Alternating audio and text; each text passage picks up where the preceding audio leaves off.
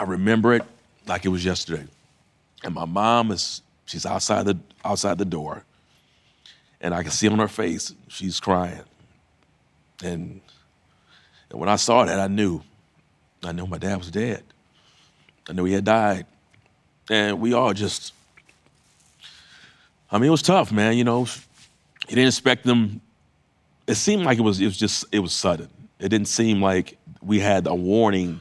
Yeah, to put it in perspective, your father passed away with lupus at the age of 41. Yeah, that was the hardest. That was the hardest day of my life, man. That was tough. You kind of said this early. Football was a way to prove to your dad Yeah. your worth, your toughness, your dedication, whatever word you want to put in there. And once he was gone, Yeah. did you no longer have that specific motivation to impress him? Is that why you quit? it just felt like okay, I no longer have to prove to my dad that I'm tough. And then it just, you know, school wasn't important anymore. Uh, sports wasn't important anymore. Nothing was important when my dad passed away, and uh, I just kind of, I fell into a little hole. Started doing stuff like hanging out with my friends, and my mom was working two jobs at the time, so she wasn't around a whole lot. And uh, I just started hanging out with my buddies and going to parties at 12 years old and going to neighborhoods that I shouldn't have, shouldn't be going to. And this one night we go out and uh, there's a party across town. It's two, I think it's two or three in the morning. I happen to turn my head to the left and I see someone walking towards me.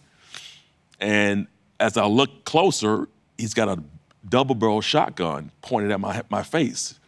And he's walking towards me. He's got the gun right here.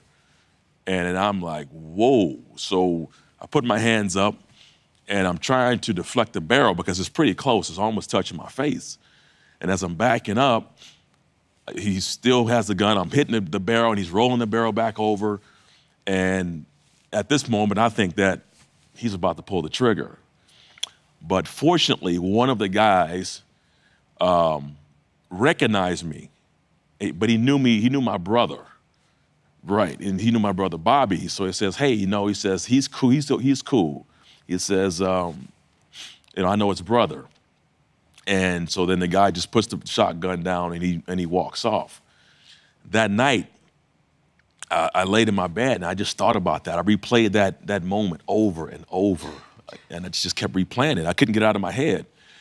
And I thought back to what my dad said when he shot those bullets. He says, Your life is only worth six cents, and it's easy for your life to be taken.